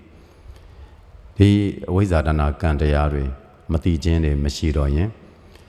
လိုချင်ခြင်းတွေမရှိတော့ရင်ဒါနဲ့ပတ်သက်ပြီးတော့အစွဲတွေနဲ့လှုပ်တဲ့ကံတရားတွေမလှုပ်တော့ဘူးဆိုလို့ရှိရင်ဒီဝါယောဓာတ်ကိုလည်းရစရာအကြောင်းမရှိတော့ဘူးချုပ်လိမ့်မယ်လို့သိတယ်ထင်ရှားဖြစ်နေသောဝါယောဓာတ်ကိုကြည့်ပြီးတော့ဒါဖြစ်တာလို့သိပြီးတော့ အထင်ရှားဖြစ်နေသောဝါယောဓာတ်ကုံသွားတာကိုချုပ်တယ်လို့သိသောအဖြစ်ဝါယောဓာတ်ဤဖြစ်ကြောင်းနဲ့ဖြစ်ခြင်းကိုသိတော့သမုဒယသစ္စာကိုသိတယ်။ဝါယောဓာတ်ဤချုပ်ကြောင်းနဲ့ချုပ်ခြင်းကိုမြင်လိုက်တဲ့အတွက်ကြောင့်និရောဓသစ္စာကိုသိတယ်။ဒီလိုသိလိုက်ပြီးတဲ့အခါဘာတွေလုပ်နေလို့လဲဆိုတော့မှန်စွာမြင်နေလို့မှန်စွာတွေးနေလို့မှန်စွာလည်းပဲအောင်းမေ့နေလို့မှန်စွာလည်းပဲ လုံလာဆိုင်နေလို့မှန်စွာတည်ကြည်တဲ့စိတ်နဲ့ကြည်နေတဲ့အတွက်ကြောင့်ဒါပုဂ္ဂိုလ်မဟုတ်ဘူးတတ္တဝါမဟုတ်ဘူးဝါယောဓာတ်ဖြစ်တဲ့ယုတ်တတ္တတာဖြစ်တယ်လို့အမှန်မြင်သွားတော့ဒုက္ခသစ္စာသိ၍အကြောင်းနဲ့တကွဖြစ်ခြင်းအကြောင်းနဲ့တကွချုပ်ခြင်းကိုသိတော့သမုဒယသစ္စာသိတယ်နိရောဓသစ္စာကိုမျက်မှောက်ပြုခြင်းဖြစ်သွားတယ်ဝါယောဓာတ်ကိုဝါယောဓာတ်မှန်သိရတဲ့အချိန်ဟာဒါကောင်းသောအချိန်ပဲအဖို့တန်သောအချိန်ပဲမဟုတ်ရင် ပုဂ္ဂိုလ်တ attva လို့သာအတုံးအခဲအလိုက်မြင်နေတာပုဂ္ဂိုလ်တ attva မြင်သမျှကာလပတ်လုံးအစွဲတွေဖြစ်ပြီးတော့အမားတွေလို့တန်တရာရှည်မဲ့အလုပ်တွေပဲလုပ်တော့မှာဝတ္တနေတိတကံတွေပဲလုပ်တော့မှာဒါဆိုဝတ်ပြတ်မှာမဟုတ်ဘူးအခုဝတ်ပြတ်ဖို့ရအတွက်မှန်စွာမြင်အောင်ကြိုးစားနေတယ်မှန်စွာကြံစနိုင်အောင်ကြိုးစားနေတယ်မှန်စွာအောက်မေ့ပြီးတော့ကြည်နေတယ်မှန်စွာအားထုတ်ပြီးတော့ဒီ ဝါယောဓာတ်နဲ့ပတ်သက်ပြီးပုဂ္ဂိုလ်ဆွဲတ attva ဆွဲဆိုတဲ့အကုသိုလ်တွေမဖြစ်စေရအောင်ကာမေသန္တာစတဲ့အကုသိုလ်တွေမဖြစ်စေရအောင်ဆိုပြီးအားထုတ်ပြီးဝိပဿနာဉာဏ်တွေဖြစ်စေအောင်မဉဏ်ဒီဟုသော ကုသိုလ်တရားများဖြစ်စေအောင်ဒီလိုစသည်ဖြင့်မဖြစ်သေးတဲ့ကုသိုလ်တွေဖြစ်အောင်ဖြစ်ပြသားကုသိုလ်တွေပွားအောင်ပဲလုပ်နေတာဖြစ်တဲ့အတွက်ကြောင့်ဝတ်ပြတ်မယ်ပြက်စေမဲ့လုံလာဆိုင်မှုကိုလုပ်နေတာအဲ့ဒီလိုနဲ့ ဝါယောတကပြတဲ့သစ္စာလေးပါးကိုမြင်တဲ့အခါဝါယောတဟာပုဂ္ဂိုလ်လည်းမဟုတ်တတ္တဝါလည်းမဟုတ်ဆင်းရဲတရားတတ္တတာဖြစ်တယ်သူ့ရဲ့အကြောင်းတရားကိုလည်းသိတဲ့အတွက်ကြောင့်ဒီအကြောင်းတရားချုပ်ရင်ဒီဝါယောတလည်းချုပ်မှာပဲလို့သိနေတဲ့အတွက်ကြောင့်ညင်းငွေသွားမယ်ဝါယောတကိုအမှန်တိုင်းမြင်ပြီးမမြဲသောတရားသာဖြစ်တယ်ခဏဖြစ်ပြီးခဏပြတ်တဲ့တရားသာဖြစ်တယ်ဆင်းရဲဖြစ်တယ်ကိုယ်အစိုးမရသောအကြောင်းရှိလို့ဖြစ်သောအကျိုးတရားတတ္တတာဖြစ်တယ် အတ္တကောင်လည်းမဟုတ်အတ္တကောင်လည်းမဟုတ်ဝါယောဆိုတာလေတတ္တတာဖြစ်တယ်လို့သိသွားတဲ့အတွက်အမှန်တိုင်းမြင်တော့လိုချင်မှုမရှိပဲညင်းငွေညင်းငွေတော့မတတ်မတ်တော့ဘူးမတတ်မတ်တော့စိတ်ကကိလေသာကနေလွတ်မြောက်အဲ့တော့အေးချမ်းပြီးဝါယောတတ္တိဟူသောယုတ်တရားကပြတဲ့သစ္စာလေးပါးကိုမြင်ပြီးတော့ငြိမ့်သွားပြီအေးချမ်းသွားပြီဒါဟာယုတ်မှာသစ္စာလေးပါးကိုမြင်ခြင်းရဲ့အကျိုးတရားပဲ အဲ့တော့ယုတ်တရားမှာသစ္စာလေးပါးကိုမြင်တတ်ပြီဆိုတော့ယုတ်ကဒီပထဝီဓာတ်တွင်ရှိတာမဟုတ်ပသာဒယုတ်ဆိုတာရှိတယ်မျက်စိနားနှာခေါင်းရှားကိုယ်မျက်စိအကြည်ဓာတ်အစင်းတွေလာပြီးတော့ထင်ရတယ်မျက်စိအကြည်ဓာတ်ဒါကိုအာယုံစိုက်မိရင်လည်းဒါယုတ်လို့သိပေးရနားကအတန်ကိုကြားနိုင်တဲ့နားအကြည်ဓာတ်အဲ့ဒါဆိုရင်ဒါအကြည်ဓာတ်သောတာပတာဒယုတ်လို့သိပေးရမယ်ယုတ်တတ်တတ်ပဲဖြစ်တယ်ပုဂ္ဂိုလ်လည်းမဟုတ်တတ္တဝါလည်းမဟုတ် အဲ့ဒီသောတာအကြည်ဓာတ်ကလေးရှိတဲ့နေရာထွန်းထုတ်ပြီးကြည်လိုက်ရင်လူလည်းမတွေ့ဘူးနတ်လည်းမတွေ့ပုဂ္ဂိုလ်လည်းမတွေ့ဘူးတတ္တဝါလည်းမတွေ့ဘူးနာအကြည်ဓာတ်ကလေးတတ်တတ်တာဖြစ်တယ်ဆိုတာတွေ့မယ်အနံ့ကိုရနိုင်တဲ့နှာခေါင်းအကြည်ဓာတ်ဂါနာပတာဒကိုကြည်ရင်လည်းယုတ်တတ်တတ်ပဲဆိုတာတွေ့မယ်သူ့တတ်တတ်ထွန်းထုတ်ပြီးတော့ကြည်လိုက်ရင်ပုဂ္ဂိုလ်လည်းမတွေ့ဘူးတတ္တဝါလည်းမတွေ့ဘူးသူသည်ဓာတ်လေးပါးနဲ့ဖွဲ့စည်းထား၍ဓာတ်လေးပါးပေါ်မှာမှီတည်နေတဲ့ဥပါဒာယုတ်တာဖြစ်တယ်ဆိုတာသွားတွေ့။ နောက်ရှာမှာလည်းအရသာရစေတဲ့ဇိမ်ဝပတာဒနေရာလေးရှိတယ်။အဲ့ဒီဇိမ်ဝပတာဒရှာအကြည့်တက်ကလေးရလေပုဂ္ဂိုလ်လည်းမဟုတ်တတ္တဝါလည်းမဟုတ်သူ့တတထွင်းထုတ်ကြည့်လိုက်ရင်ဓာတ်လေးပါးနဲ့ဖွဲ့စည်းထားသောယုတ်တာဖြစ်တယ်။ဓာတ်လေးပါးပေါ်မှာမှီတည်နေသောဥပါဒာယုတ်တာဖြစ်တယ်ဆိုတာသိသွားမယ်။ဒုက္ခသစ္စာကိုအဲ့ဒီလိုအမှန်တိုင်းခွဲချမ်းစိတ်ပြပြီးတော့သိသွားမယ်သိသွားပြီးတဲ့အခါကျတော့ဒီဇိမ်ဝပတာဒဟာ ဆင်းရဲတာဖြစ်တယ်ဆိုတာသိပြီကိုယ်အကြည်တက်မှပတ်သက်လို့အစိုးတက်ရှိတဲ့နေရာမှန်သမျှထီမှန်းသိတဲ့နေရာမှန်သမျှမှာကာယပတာဒတည်ရှိတယ်အဲ့ထီမှန်းသိတဲ့နေရာလေးမှာဆင်ခြင်ကြည့်တော့ဒါကာယပတာဒရုပ်ပဲဖြစ်တယ်ပုဂ္ဂိုလ်လည်းမဟုတ်ဘူးတတ္တဝါလည်းမဟုတ်ဘူးလို့မြင်လိုက်မယ်အဲ့ဒီနေရာလေးထီမှန်းသိတဲ့နေရာလေးလောလောဆယ်အာယုံစိုက်ပြီးတော့သိတဲ့နေရာလေးမှာပုဂ္ဂိုလ်ရှိလားလို့ကြည်လိုက်တယ်မတွေ့ဘူးတတ္တဝါရှိလားလို့ကြည်လိုက်တယ်မတွေ့ဘူး ကာယအကြည်တက်ကလေးသာဖြစ်တယ်ယုတ်တတ္တတာဖြစ်တယ်ဓာလေးပါးနဲ့ဖွဲ့စည်းတယ်ဓာလေးပါးပေါ်မှာမှီတည်တဲ့ဥပါဒယုတ်တာဖြစ်တယ်ဒီတော့ဒုက္ခသစ္စာကိုပတာရယုတ်၅ပါးမှလည်းမြင်သွားပြီယုတ်တာဖြစ်တယ်လို့ဒုက္ခသစ္စာကိုသိတယ်အကြောင်းကတော့အဝိဇ္ဇာတဏှာကံအာဟာရတို့ကြောင့်ဖြစ်တာပဲလောလောဆယ်အာယုံမှာထင်သောအပြင်ထင်ရှားဖြစ်တဲ့ရုပ်ဟာဒါဖြစ်တာပဲသူ့ကိုအာယုံပြုရင်းနဲ့အာယုံမပြုတဲ့အခါ မထင်တော့တဲ့အခါဒါသူ့ရဲ့ကုံဆုံးခြင်းပဲကုံဆုံးတာချုပ်တာပဲဒါကိုအသေးစိတ်ကြည့်မယ်ဆိုသူ့မှာတည်ရှိနေတဲ့မျက်စိအကြည့်နားအကြည့်နှာခေါင်းအကြည့်ရှားအကြည့်ကိုယ်အကြည့်တို့မှာရှိနေသော cell လေးတွေကိုတိတိကျကျကြည့်မယ်ဆိုရင်လည်းစက္ကမလက်ဖြစ်စက္ကမလက်ပြတ်တည်တဲ့ cell တည်အသစ်ဖြစ်လာတဲ့ cell ကအသစ်ဖြစ်လာဆိုပြီးတော့မမြဲကြတာတွေ့လိမ့်မယ်ဒါကြောင့် သူတို့ဟာပုံကိုယ်လည်းမဟုတ်ဘူးတတ္တဝါလည်းမဟုတ်ဘူးရုပ်တတ္တတာဖြစ်တယ်လို့မြင်ပြီးအကြောင်းနဲ့တကွဖြစ်ခြင်းကိုတွေ့တယ်အကြောင်းနဲ့တကွချုပ်ခြင်းကိုတွေ့တော့ဒုက္ခသစ္စာသမုဒယသစ္စာနိရောဓသစ္စာတို့ကိုသိ၍ဒီလိုသိနိုင်အောင်မှန်စွာမြင်စေတဲ့တမ္မာဒိဋ္ဌိကိုပွားနေတယ်အမှန်တိုင်းမြင်အောင်တတိထားကြည့်လိုက်တဲ့အခါကျတော့ပုဂ္ဂိုလ်လို့မတွေ့တော့ဘူးတတ္တဝါလို့မထင်တော့ဘူးဒါဟာ ဥပါဒာယုတ်တတ္တတာဖြစ်တယ်ရူပခန္ဓာသာဖြစ်တယ်လို့မြင်သွားသောအဖြစ်ယုတ်သည်ငါဥစ္စာမဟုတ်ငါမဟုတ်ငါအတ္တမဟုတ်ဘူးပုဂ္ဂိုလ်လည်းမဟုတ်ဘူးတတ္တဝါလည်းမဟုတ်ပဲနဲ့မမြဲဆင်းရဲဖောက်ပြန်သောတရားသာဖြစ်တယ်လို့မြင်တဲ့အတွက်အစွဲတွေပြုတ်ပြီးတော့ညီငွေသွားမယ်ညီငွေတော့တတ်မှတ်မှုကင်းသွားမယ်တတ်မှတ်မှုကင်းတော့ဒီပတာရယုတ်တွေနဲ့ပတ်သက်ပြီးအာဆွဲသူဆွဲပြုတ်ပြီးကိလေသာကလွတ်ပြီးတော့ အေးတယ်အဲ့လိုမျိုးအေးသွားပြီးတော့ဒီလိုကျင့်တဲ့ပုဂ္ဂိုလ်မျိုးကိုတုတ်ပတိပန်တော့ကောင်းစွာကျင့်တဲ့ပုဂ္ဂိုလ်လို့ခေါ်တယ်ကောင်းစွာကျင့်တဲ့ပုဂ္ဂိုလ်တွေကဒီလောကမှာမြတ်စွာဘုရားရဲ့သာသနာမှာနေရာရှိကြတယ်မှန်စွာပွားများမှန်စွာကျင့်ကြံပြီးတော့ယုတ်ကပြတဲ့သစ္စာလေးပါးကိုမြင်ကုန်ပြီအဲ့တော့ယုတ်ဆိုတော့အကုန်လုံးဘယ်ဟာကယုတ်လဲလို့သိဖို့လိုတော့ ဂောစရယုတ်ဆိုတာရှိသေးတယ်ရူပါယုံတတ္ထာယုံခန္ဓာယုံရတ္တယုံဖို့တပယုံအဲ့တော့ဒီအာယုံယုတ်တရားတွေနဲ့ပတ်သက်လို့ရူပါယုံဆိုတဲ့သဘောတရားကိုကြည့်ရတော့အစင်းတွေကသူတို့လက်ဓာတ်လေးပါးနဲ့ဖွဲ့စည်းထားတဲ့ယုတ်တွေဓာတ်လေးပါးပေါ်မှာမှီတည်နေသောဥပါဒယုတ်တွေအတန်တွေနားထောင်ကြည့်တော့ဒီအတန်တွေကလည်းဒီအတိုင်းပဲဓာတ်လေးပါးကိုမှီသောဥပါဒယုတ်တွေအတန်ဆိုလို့ရှိရင်စိတ်ကိုလည်းမိတယ် ဥတုကိုလည်းမိတယ်အဲ့တော့သူတို့ကဥပါဒယုတ်ကိုပဲပြန်ပြီးတော့မိနေတာယုတ်ကိုမိတော့တရားဥပါဒယုတ်ကိုမိတော့တရားဥတုကြောင့်ဖြစ်တဲ့အတန်ဆိုရင်ဒီတော့နောက်အနံ့ဆိုလည်းဒီအတိုင်းပဲဥပါဒယုတ်ပဲဓာလေးပါးပေါ်မှာမိတီးနေတာအရသာဆိုလည်းဒီအတိုင်းပဲဓာလေးပါးပေါ်မှာမိတီးနေတာထိတွေ့ရတဲ့ဘုဒ္ဓဘာယုံဆိုတာအာဘောဓကျင့်တော်ဓာတ်၃ပါးဆိုတော့ဓာတ်၄ပါးပေါ်မှာမိတည်တယ်လို့ပဲ ပြန်ပြီးတော့ရတယ်ဒီတော့အစင်းလို့မြင်ရတဲ့အစင်းကိုမြင်လိုက်ရင်ပုဂ္ဂိုလ်လည်းမဟုတ်တတ္တဝါလည်းမဟုတ်ဥပါဒယုတ်တာဖြစ်တယ်လို့မြင်လိုက်ရင်ဒုက္ခသစ္စာကိုမြင်တာဒီအစင်းရဲ့အကြောင်းတရားကလည်းအဝိဇ္ဇာတဏကံအာဟာရကြောင့်ဖြစ်နေတာပဲ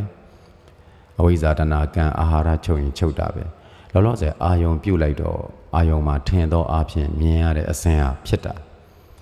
အာယုံမပြုတ်တော့ဘူးဆိုရင် မထင်တော့ရင်ဒါဒီတရားအာယုံတရားအစင်းရုပ်ချုပ်တာပဲဒီတော့ဒီအစင်းရုပ်ဤဖြစ်ကြောင်းနဲ့တကွဖြစ်ခြင်းကိုမြင်တော့သမုဒယသစ္စာကိုသိလိုက်ပြီအစင်းရုပ်ဤချုပ်ကြောင်းနဲ့တကွအခုကုံဆုံးသွားခြင်းကိုသိလိုက်တော့ချုပ်ခြင်းကိုလည်းသိလိုက်ပြီနိရောဓသစ္စာကိုသိတယ်မှန်စွာမြင်အောင်လဲတာမာဒိဋ္ဌိစသောမက်ကင်ကိုပွားနေတယ်စင်ကျင်နေတယ်တေတေချာချာစိုက်ကြည့်လုံလာစိုက်ပြီးတော့ကြည့် ဒီတော့မက္ခသစ္စာကိုပွားများသောအပြင်ဒုက္ခသစ္စာကိုသိသွားပြီအာယုံရုပ်တွေနဲ့ပတ်သက်ပြီးတော့လေဆင်းရဲကိုသိသွားပြီဒုက္ခသစ္စာကိုသိပြီသမုဒယသစ္စာကိုလည်းသိပြီនិရောဓသစ္စာ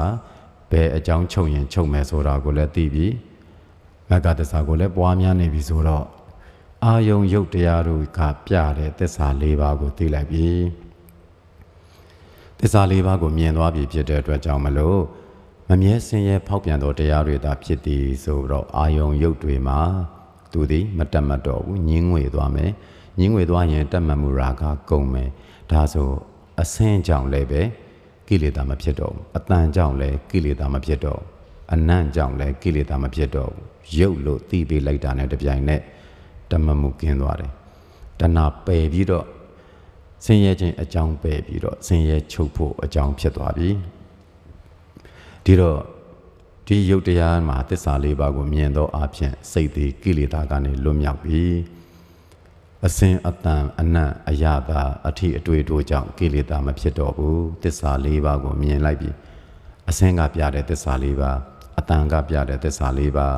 အနတ်ကပြတဲ့သစ္စာလေးပါးအယတာကပြသောသစ္စာလေးပါးထိတွေ့မှုဘုရားဘာယုံကပြသောသစ္စာလေးပါးတို့ကိုအမှန်တိုင်းမြင်လိုက်တဲ့အတွက်ကြောင့် စိတ်သည်ကိလေသာကနေလွတ်မြောက်ပြီအဲ့ဒီလိုမျိုးနဲ့အေးချမ်းမှုကိုရရှိတယ်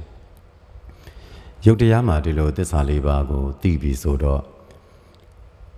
ဒီလိုညင်းငွေသွားတယ်အခုရာဂကင်းပြီဆိုတော့နောက်ပိုင်းကျရင်သူကယုံနဲ့ပတ်သက်ပြီးတော့ညင်းငွေဖို့အတွက်ပဲကြိုးစားတော့တာတက်မှတ်မှုကင်းဖို့အတွက်ပဲနေထိုင်ကြင်ကြံတော့တာအဲ့ဒီ ရုပ်တရားနဲ့ပတ်သက်ပြီးဒီရုပ်ဆင်းရဲတရားနောက်မဖြစ်တော့အောင်ချုပ်ဖို့ရအတွက်ပဲကြိုးစားတော့တာဆွဲလန်းမှုငါဥစ္စာငါငါအတ္တဆိုပြီးတဏမာနအစွဲမရှိတော့အောင်ပဲကြိုးစားတော့တာအဲ့ဒီလိုကြိုးစားတဲ့အတွက်ကြောင့်သူဟာလွတ်မြောက်သွားတယ်ကိလေသာကနေလွတ်မြောက်သွားဒီလိုလွတ်မြောက်သွားရင်ဖြင့်အရတ္တမအရတ္တဖို့ဒီရောက်ပြီးတော့သူဝိမု ക്ത ကောင်းစွာလွတ်မြောက်တဲ့ပုဂ္ဂိုလ်ဖြစ်လာလိမ့်မယ်ကျင့်စရာကိစ္စ အဲ့တော့ကုံသွားလိမ့်မယ်ဒါကြောင့်ဒီအတိုင်းဆက်ပြီးတော့ယုံမှာသစ္စာလေးပါးဆင်ခြင်ပြီးမြင်အောင်အမြဲတမ်းကြည်သွားသောအဖြစ်တန်တရာဝတ်ဆိုတာသူ့အတွက်လာမှာမဟုတ်တော့ဘူးဝတ်ပြတ်သွားလိမ့်မယ်တန်တရာဝတ်ပြတ်ချင်ပြီဆိုလို့ချင်းအခုပွားများတဲ့အနေအတိုင်းအမြဲပွားများနေရတယ်ရည်ရွယ်ချက်ကတော့ညင်းငွေဖို့ပွားများနေရမယ်တတ်မှတ်မှုကင်းဖို့ပွားများနေရမယ်ဒီစင်ရတရားချုပ်စေဖို့ပွားများနေရမယ် ဒီစင်ရတရားမှာလဲငါဆွဲငါဥစ္စာငါငါအတ္တလို့ဆွဲနေတဲ့တဏှာဆွဲမာနာဆွဲဒိဋ္ဌိဆွဲမရှိအောင်အာထုံနေရမယ်ဒါကိုရတ္တဖို့ရသွားရင်ကောင်းစွာလွတ်မြောက်တယ်လို့ခေါ်တယ်ဒီအခါမှာတော့ဝိစင်ရဲ့ပြက်ပြီပေါ့ဒါတော့ယုတ်ကပြတဲ့သစ္စာလေးပါးသိရင်ခံစားမှုဝေဒနာကပြတော့သစ္စာလေးပါးကိုလည်းရှုတတ်ရမယ်ခံစားမှုဝေဒနာကတော့ သူလည်းပဲခွဲချမ်းစိတ်ဖြာလိုက်ရင်6ပါးရှိတယ်သက္ခုတံပတ္တစာဝေဒနာမျက်စိ၌ထီတော့မျက်စိနဲ့အာယုံထိမှုလို့ခေါ်တဲ့အာယုံထိမှုကြောင့်ဖြစ်တဲ့ခံစားမှုသောတာတံဖတ်တစာဝေဒနာနား၌ထိတွေ့မှုကြောင့်ဖြစ်သောခံစားမှုဂါနတံဖတ်တစာဝေဒနာနှာခေါင်း၌အာယုံထိမှုကြောင့်ဖြစ်သောခံစားမှုဇိန်ဝါတံဖတ်တစာဝေဒနာရှာ၌အာယုံထိမှုကြောင့်ဖြစ်သောခံစားမှုကာယတံဖတ်တစာဝေဒနာ ကိုယ်အကြည်ဓာတ်၌အာယုံထိမှုကြောင့်ဖြစ်သောခံစားမှုမနောတံပတ္တစာဝေဒနာစိတ်၌အာယုံထိမှုကြောင့်ဖြစ်သောခံစားမှုဆိုပြီးတော့ခံစားမှုဟာ6မျိုးရှိတယ်အကျဉ်းအားဖြင့်ပိုင်းခြားလိုက်တယ်ပိုင်းခြားလိုက်ပြီးတော့မျက်စိနဲ့အဆင်းကိုကြည့်ပြီးတော့ဒီစက္ကုတန်ဖတ်တာကြောင့်ဖြစ်လာမဲ့ဒုက္ခဒုက္ခဥပိ္ပခဝေဒနာတစ်မျိုးမျိုးထင်ရှားလိုက်ဒါဝေဒနာလို့သိပေးရအဲ့ဝေဒနာရဲ့အကြောင်းတရားကြတော့အဝိဇ္ဇာတဏှာကံနဲ့ဖတ်တာတရားပဲ ဖတ်တာတမှုတရားဝေဒနာတမှုတရောဖတ်တာနိရောဓဝေဒနာနိရောဓောဖတ်တာဖြစ်ရင်ဝေဒနာဖြစ်မယ်ဖတ်တာချုပ်ရင်ဝေဒနာချုပ်ဒီတော့အခုဝေဒနာဘာလို့ဖြစ်တာလဲဖတ်တာကြောင့်ဖြစ်တာဆိုအကြောင်းကိုသိတော့တမှုတရားသစ္စာကိုသိတယ်ဒီဖတ်တာချုပ်ရင်ဝေဒနာချုပ်တယ်ဆိုတော့နိရောဓသစ္စာကိုသိတယ်အဲ့လိုသိဖို့အတွက်မှန်စွာမြင်ခြင်းဆိုတဲ့တာမာဒိဋ္ဌိကိုဒါနဲ့ဆင်ခြင်းနေတယ် မှန်တိုင်းမြင်သွားပြီဒါပုဂ္ဂိုလ်မဟုတ်ဘူးတတ္တဝါမဟုတ်ဘူးခံစားမှုဝေဒနာတတ္တတာဖြစ်တယ်နံတရားတတ္တတာဖြစ်တယ်ဖြစ်ပြီးတော့ပြတ်သွားတယ်မမြဲသောတရားသာဖြစ်တယ်အစွဲတွေလည်းပြုတ်တယ်ငါဥစ္စာငါငါအတ္တလို့မစွဲတော့တဏှာစွဲမာနာစွဲဒိဋ္ဌိစွဲပြုတ်သွားပြီးဝေဒနာကိုဝေဒနာလို့အမှန်တိုင်းသိလိုက်တဲ့အတွက်ဒုက္ခသစ္စာသိပြီးသူ့ကိုအကြောင်းတရားနဲ့တကွဖြစ်ခြင်းကိုသိ မဖြစ်သေးသောခံစားမှုဝေဒနာထင်ရှားဖြစ်ပေါ်လာခြင်းဟာဝေဒနာဖြစ်တာထင်ရှားဖြစ်တဲ့ဝေဒနာဤကုံဆုံးခြင်းဟာဒါချုပ်တာအဲ့ဒါကိုသိဖို့ပွားများနေတဲ့မှန်စွာမြင်ခြင်းဆိုတဲ့အာမောဟတရားပေါ့ပညာတရားဒီပညာတရားကအခုပွားများခြင်းမက္ခသစ္စာပဲဒီတော့အမှန်တိုင်းပွားတဲ့အတွက်ကြောင့်သိပြီးပယ်နိုင်ပြီးချုပ်ပြီးဆိုတော့ဝေဒနာကပြတဲ့သစ္စာ၄ပါးကိုသွားတွေ့ ဒုက္ခပဲဖြစ်ဖြစ်ဒုက္ခပဲဖြစ်ဖြစ်ဝေဒနာဒီဝေဒနာသာဖြစ်တယ်နံတရားတတ္တတာဖြစ်တယ်ဥပိ္ပခာပဲဖြစ်ပါစေဝေဒနာဒီဝေဒနာသာဖြစ်တယ်ခံစားမှုတတ္တနံတရားသာဖြစ်တယ်အမှန်တိုင်းဒုက္ခသစ္စာကိုသိပေးရမယ်မဟုတ်ရင်ငါခံစားတယ်သူခံစားတယ်ဆိုရင်ပုဂ္ဂိုလ်ဆွဲတတ္တဝါဆွဲနဲ့လောင်လိမ့်မယ်အခုမလောင်တော့ဒီတော့ဝေဒနာနဲ့ပတ်သက်ပြီးဝေဒနာမှာသစ္စာလေးပါမြင်လိုက်တဲ့အတွက်ကြောင့်အစွဲပြုတ်ပြီးတော့ ကိလေသာကနေလွတ်မြောက်မယ်။နောင်လဲဝေဒနာနဲ့ပတ်သက်ပြီးစွဲမှာမဟုတ်တော့ဘူး။ဒါကြောင့်ဝေဒနာမှာသစ္စာလေးပါမြင်ခြင်းဟာဒီလိုအကျိုးရှိတယ်။တင်ညာလဲအင်းနေတူပဲ။တင်ညာရဲ့အကြောင်းတရားသည်ဖတ်တာရှိရင်တင်ညာဖြစ်မယ်။ဖတ်တာကြောင့်တင်ညာဖြစ်ပြီးဖတ်တာချုပ်ရင်တင်ညာချုပ်မယ်။အဲ့တော့မှတ်သားမှုဆိုလို့ရှိရင်လည်းငါဆွဲသူဆွဲမဆွဲပဲနဲ့တင်ညာကပြတဲ့တင်ညာကိုတင်ညာမှန်းသိ၍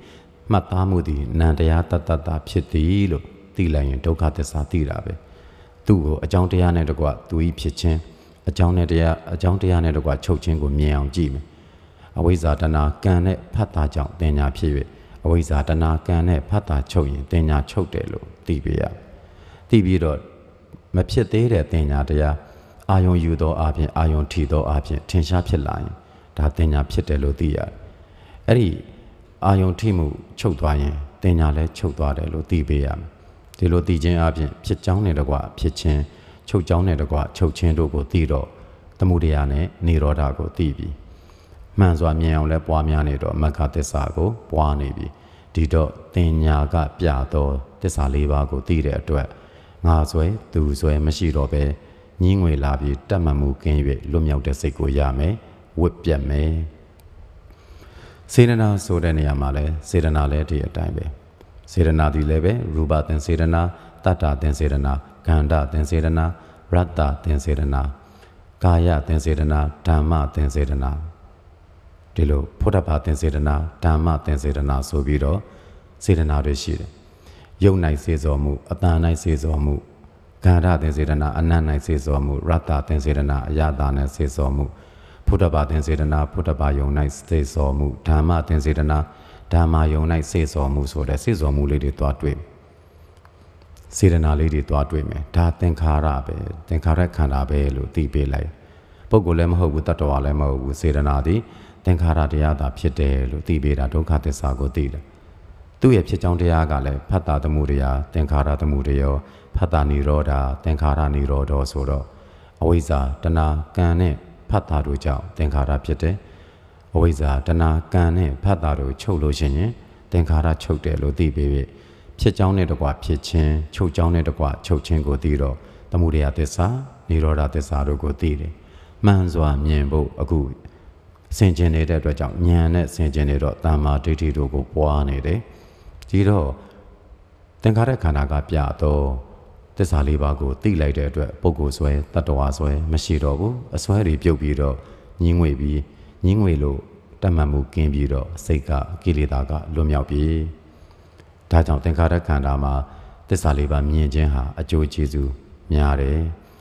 ဝိညာဏခန္ဓာဆိုရင်လည်းသက္ခုဝိညာဏံသောတာဝိညာဏံခန္ဓာဝိညာဏံစိန်ဝဝိညာဏံကာယဝိညာဏံမနောဝိညာဏံဆိုပြီးတော့မြင်သိစိတ်ကြားသိစိတ်နာမ်သိစိတ်အယတာသိစိတ်ထိသိစိတ်တွေးသိကြံသိစိတ်ဆိုပြီးရှိတယ် ဒီစိတ်ပဲစိတ်ပဲပေါ်လာပေါ်လာဒီစိတ်ဆိုတာနံတရားတတတဖြစ်တယ်အဲ့လိုသိပြီလေဒါဝိညာဏပဲမြင်သိစိတ်တို့ဒါမြင်သိစိတ်သကုဝိညာဏပဲသိပြီတာဒုက္ခသစ္စာကိုသိတာသိကိုသိပေးနေရမဟုတ်ရင်ပုဂ္ဂိုလ်ဆွဲတတ္တဝါဆွဲဆွဲနေမှာကြားလိုက်ပြီဆိုလဲသိလိုက်ရင်ဒါကြားသိစိတ်သောတာဝိညာဏဖြစ်တယ်ဒါဒုက္ခသစ္စာကိုသိတာဒုက္ခသစ္စာကိုသိပြီဆိုလို့ရှိရင်အကြောင်းကိုကြည့်တော့ ဒီဝိညာဏတိနာမရူပသမှုတရားဝိညာဏသမှုတရားနာမရူပនិရောဓဝိညာဏនិရောဓဆိုတော့နန္တရားယုတ်တရားတို့ကိုအကြောင်းပြုပြီးတော့ဟိုအာယုံယုတ်တွေအစဉ်ကျင်မှုနှလုံးသွင်းမှုတွေဆိုတဲ့နန္တရားယုတ်တရားကိုအကြောင်းပြုပြီးတော့မြင်သိစိတ်ကြားသိစိတ်တို့ဖြစ်တာဒါကြောင့်နာယုတ်ကြောင့်ဝိညာဏဖြစ်သည်လို့အကြောင်းသိတယ်မဖြစ်သေးသောသိစိတ်ဤထင်ရှားဖြစ်ပေါ်လာခြင်းဟာဒါသူဤဖြစ်ခြင်းပဲ အဲ့ထင်ရှားဖြစ်နေတဲ့သိစိတ်ဤချုပ်သွားတဲ့အခါမှာကုံသွားတဲ့အခါမှာဒါသူ့ရဲ့ချုပ်ခြင်းပဲဒါကြောင့်ဝိညာဏခန္ဓာမှာအဝိဇ္ဇာတဏကံနဲ့နာယုတ်တို့ကြောင့်ဖြစ်၍ထိုအဝိဇ္ဇာတဏကံနဲ့နာယုတ်တို့ချုပ်ရင်ဝိညာဏခန္ဓာချုပ်တယ်လို့သိပြီးပြီးအဲ့ဒီတိုင်းသိအောင်မှန်စွာမြင်ခြင်းဆိုတဲ့တမ္မာဒိဋ္ဌိနဲ့ပွားနေတော့ဝိညာဏခန္ဓာကပြတဲ့သစ္စာ၄ပါးကိုမြင်လိုက်ပြီးဒီလိုသစ္စာလေးပါမြင်လိုက်တော့ဝိညာဏခန္ဓာကိုငါဆွဲသူဆွဲမဆွဲတော့ပဲ သူသည်နန္တရားတတ္တတာဖြစ်တယ်ဆင်းရဲတရားတာဖြစ်တယ်လို့သိတဲ့အတွက်ညင်းငွေမယ်ညင်းငွေတော့တမမှုကင်းပြီးကိလေသာကနေလွတ်မြောက်မယ်ညင်းငွေဖို့အတွက်ပဲနေတော့မယ်တမမှုကင်းဖို့ပဲနေတော့မယ်ခြုံငိမ့်ဖို့အတွက်ပဲနေတော့မယ်အဲ့ဒီလိုကောင်းစွာလွတ်မြောက်အောင်နေရင်းနဲ့အရတ္တမအရတ္တဖို့ရာကဝစ်ပြတ်၍အကြောင်းတရားတွေအကုန်ခြုံငိမ့်အကြောင်းပြတ်မယ်ဒါကြောင့်တရားနာသူအပေါင်းသူတော်ကောင်းတို့သည်လည်းပဲ ခန္ဓာ၅ပါးကပြတဲ့ဒီသစ္စာ၄ပါးကိုမြင်အောင်ဆင်ခြင်နိုင် ရှုနိုင်ကြကုန်၍ကိလေသာကလွတ်မြောက်ကြကအကြောင်းပြတ်၍အကျိုးချုပ်ကအေးငြိမ်နိုင်ကြသူများဖြစ်နိုင်ကြပါစေကုန်သတည်း